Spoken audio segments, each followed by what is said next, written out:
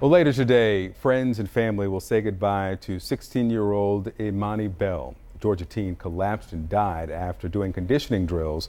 This was at an outdoor basketball practice on one of the hottest days of the year. Her family wants to know if the school violated the rules by allowing students to go outside for practice. Coy Wire meteorologist Allison Chinchar uh, with us now to, to talk about this because there have to be guidelines, obviously. And this isn't the only instance. I mean, the CDC says more than 600 people in the U.S. are killed by extreme heat every year. And a new Climate Central study just released this week looks at 239 locations in the U.S.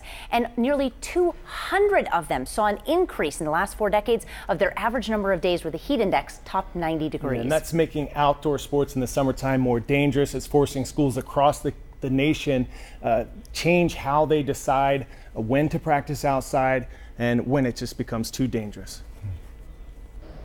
Traditionally, people often use the heat index. This is fine for normal everyday activities such as gardening or taking kids to a park because most of those activities don't involve intense exercise. One thing we try to do is be proactive, um, especially the best interests of the kids and just making sure that we're putting their safety you know, first in everything that we do. So we always get with the trainers and we come up with a plan. Some schools and organizations are switching to a method of measurement used by the military for decades to help prevent heat related illnesses. It's called wet bulb globe temperature.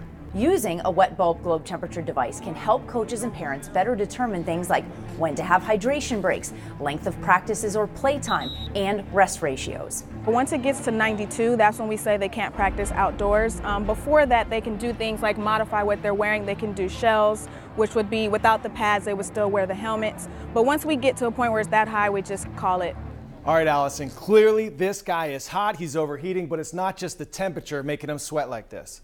Right, so Coy, in normal environmental conditions, when you sweat, that sweat evaporates off your body like it's doing to this gentleman here. That effectively cools your skin off.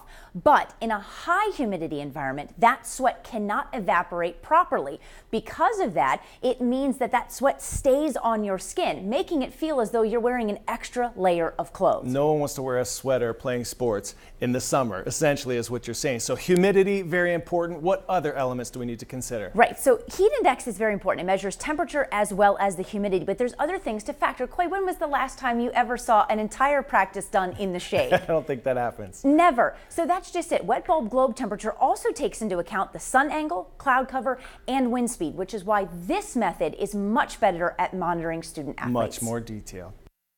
What can you do to help prevent heat stroke and other heat related illnesses in the summertime? The CDC says you can wear loose fitting, lightweight clothing, stay hydrated, protect against uh, sunburn with SPF and also take it easy during the hottest times of the day. That's right. And know the signs of heat stroke. Okay, this is going to be very important. Very intense headaches, unconsciousness, confusion, and your skin will be red hot but actually dry. You will stop sweating at that point. That is the sign that you need to seek help. And this is the device that those schools use to take those readings, the proper readings, to get a better idea of what the heat's impact is on those athletes' so parents bodies. can find out if you're concerned. Does your school have one? If not, maybe ask that they get one. Okay. Oh, yeah. Good points. Mm -hmm. Allison Coy, thank you both so much.